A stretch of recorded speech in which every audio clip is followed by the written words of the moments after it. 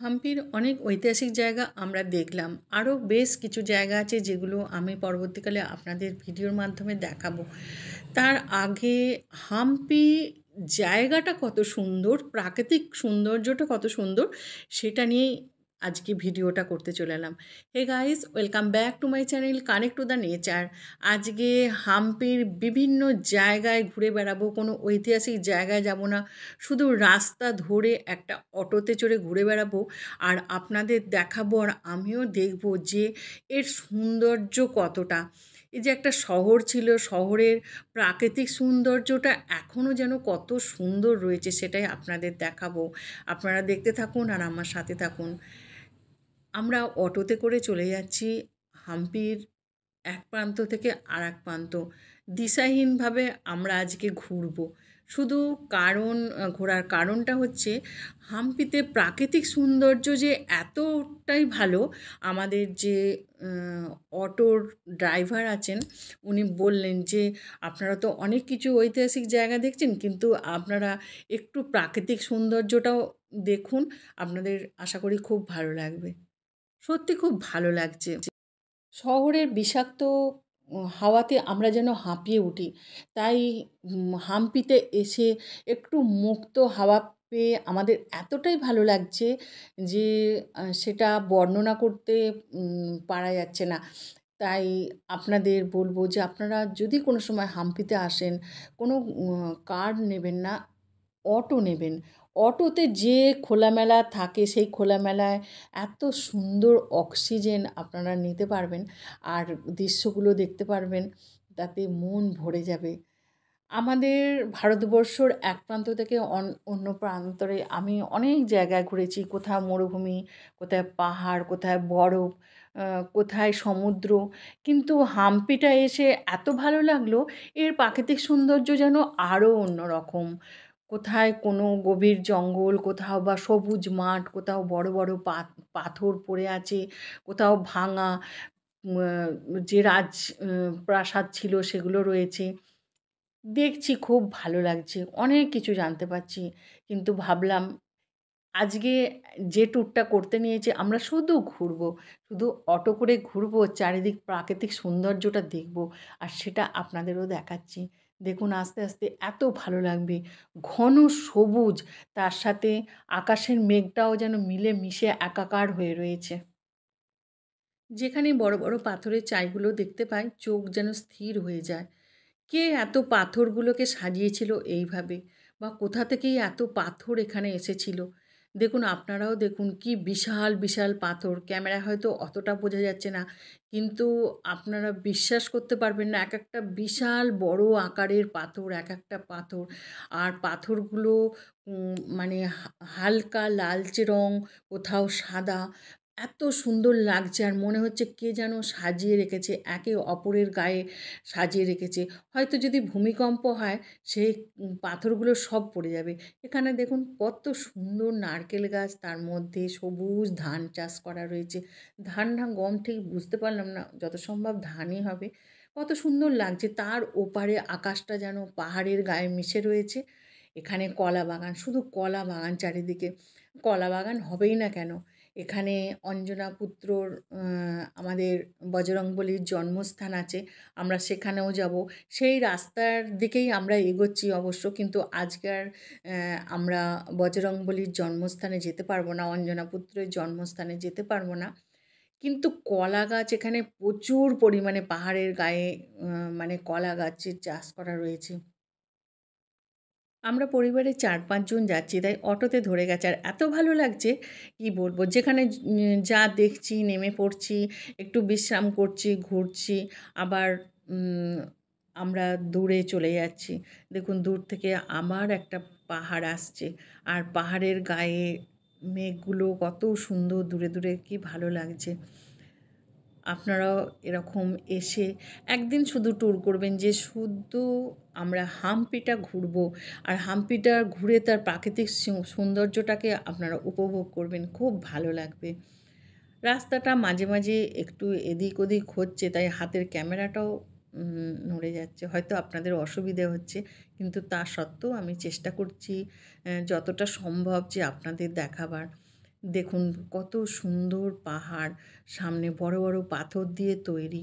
আর এর পাশ দিয়েই আমাদের অটোটা চলেছে। কিছু কিছু জায়গায় দোকানপাট রয়েছে, গাড়ি ঘোড়াও দেখছেন, আসা যাওয়া করছে। মানুষজনও এই বাসেতে যাতায়াত করে, এখানে আসে।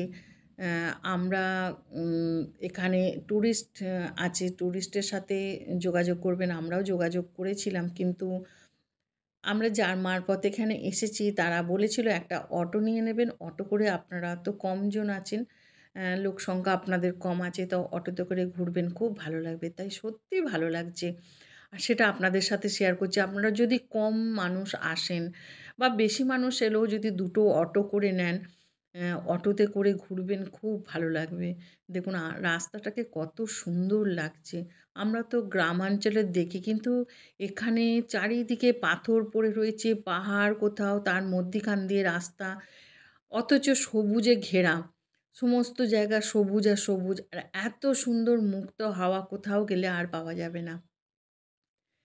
তাই বারবার মনে হচ্ছে যেন এই জায়গাটা ছেড়ে যেতে ইচ্ছা করছে না। এত সুন্দর লাগছে।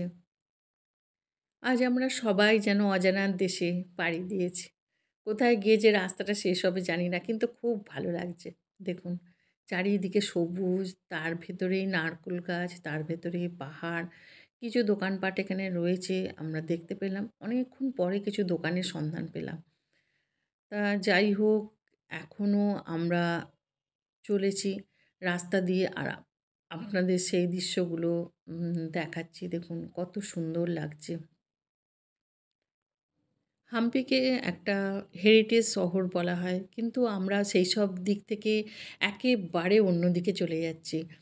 আর যেখানে যাচ্ছি, তার অপরূপ দৃশ্যটা দেখুন, কত সুন্দর। সত্যি ভালো লাগছে, মন মুগ্ধ করে দিচ্ছে। মাঝে মাঝে এক একটা ঘর রয়েছে বা দোকানপাট রয়েছে, তারপরে আর কিছুই নেই। শুধু গাছপালা, পাহাড় পাহাড়গুলো এত সুন্দর। দেখুন, এখানে কি বিশাল বিশাল পাহাড় পাথর রয়েছে। আর পাথরগুলো যেন একই কালার। তার মধ্যে গাছগুলোও যেন কত সুন্দরভাবে শেপ করা রয়েছে। আসলে প্রকৃতি এত সুন্দর এখানকার। ওর তার সাথে দেখুন, মেঘটা এত অপূর্ব লাগছে, চোখ ফেরাতে ইচ্ছা করছে না। নারকোল গাছগুলো সারি সারি করে বসানো, খুব সুন্দর লাগছে। এই জায়গাটা তো আরও সুন্দর লাগছে। আপনারা দেখুন এত সুন্দর এখানের দৃশ্যটা। যেমন আকাশের রং, তেমন পাহাড়, তেমন রাস্তাঘাট, তেমন গাছপালা। যেন এক অসাধারণ দৃশ্য লাগছে। চোখ ফেরাতেই ইচ্ছা করছে না। সত্যি এত জায়গায় ঘুরেছি কিন্তু হাম্পি এসে এই দৃশ্যগুলো দেখতে দেখতে যেন মুগ্ধ হয়ে গেলাম। এখানটা আপনারা দেখুন, এত সুন্দর লাগছে জায়গাটা। মনে হচ্ছে শুধু দেখতেই থাকি দেখতেই থাকি। এইসব দৃশ্য দেখে যখন বাড়ি ফিরে যাব, তখন মনটা আরও খারাপ লাগবে। মনে মনে করব যে আবার যেন দৌড়ে চলে যাই। তাই ক্যামেরায় বন্দি করে নিয়েছি। সব সময় তো আসা সম্ভব হয় না এত দূরে। তাই বাড়িতে বসে এই জায়গাটা দেখব। আমরা এখন এখানে যে ড্যাম্প আছে একটা, ড্যাম্পের প্রায় কাছাকাছি জায়গায় এসে পড়েছি। আর আমি যেহেতু ক্যামেরা করছি, ভদ্রলোক আমার দিকে তাকিয়ে একটু হেসে চলে গেল। যাই হোক, আমরা এখন ড্যাম্পের কাছে এসে পড়েছি। এখন এখানে আমরা একটুখানি নামবো। নেমে আমরা একটুখানি রেস্ট নেব। রেস্ট নিয়ে আবার আমরা এই অটো করে নতুন দিগন্তের দিকে রওনা দেব। তা আপনারা নিশ্চয় আপনাদের ভালো লাগছে দৃশ্যগুলো। আমার তো খুবই ভালো লাগছে, তাই আপনাদের সাথে এই দৃশ্যগুলোকে আমি শেয়ার করলাম।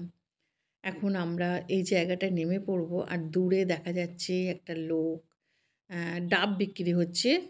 তা কিছু এখানে আমরা ডাবের জল খাব আর এখানে যে ড্যামটা আছে সেটা আমরা দেখাবো। দেখতে থাকুন। আমরা এখন চলে এসেছি হাম্পির একটা ড্যাম্পে আর এখানে প্রচণ্ড পরিমাণে হাওয়া। আর এখানকার দৃশ্যটা এত সুন্দর আপনাদের দেখাচ্ছি চারিদিকটা ঘুরিয়ে। এখানে খুব ভালো লাগবে। আপনারাও যদি কোনো সময় আসেন এই জায়গাটায় একটুখানি দাঁড়াবেন, দাঁড়িয়ে এখানে একটু কিছু খাওয়া দাওয়া করবেন। আর আমি চারিদিকের দৃশ্যটা দেখাচ্ছি। দেখুন, এত সুন্দর লাগছে এখানে। চারিদিকে জল পাহাড়, তার মধ্যে গাছপালা আর এটা একটা ড্যাম। আমি নামটা এই মুহূর্তে জানি না এটাকে কি বলে। তাই এই জায়গাটা খুব ভালো লাগছে আর চারিদিক দিকের যে দৃশ্যটা সেটাও খুব ভালো লাগছে। আমি আর দাঁড়িয়ে থাকতে পারলাম না। কিছু দূর হেঁটে গিয়ে আমি ড্যাম্পের ধারে দাঁড়িয়ে রইলাম কিছু ফটোশ্যুটের জন্য। এখানে লোভ সামলাতে পারলাম না। তাই চলে গেলাম। এরপরে আমরা আবার নতুন দিগন্তের দিকে আমাদের অটোটা নিয়ে এগোতে লাগলাম। আর এর সাথেই আজকের ভিডিওটা শেষ করছি। ভিডিওটা যদি ভালো লাগে অবশ্যই লাইক, কমেন্ট, শেয়ার করবেন। আর যারা যে প্রথম আমার ভিডিওটা দেখলেন, প্লিজ চ্যানেলটিকে সাবস্ক্রাইব করে পাশে থাকা বেল আইকনটা প্রেস করে দেবেন। সবশেষে বলি, আপনারা খুব ভালো থাকুন। আবার দেখা হবে নেক্সট ভিডিওতে।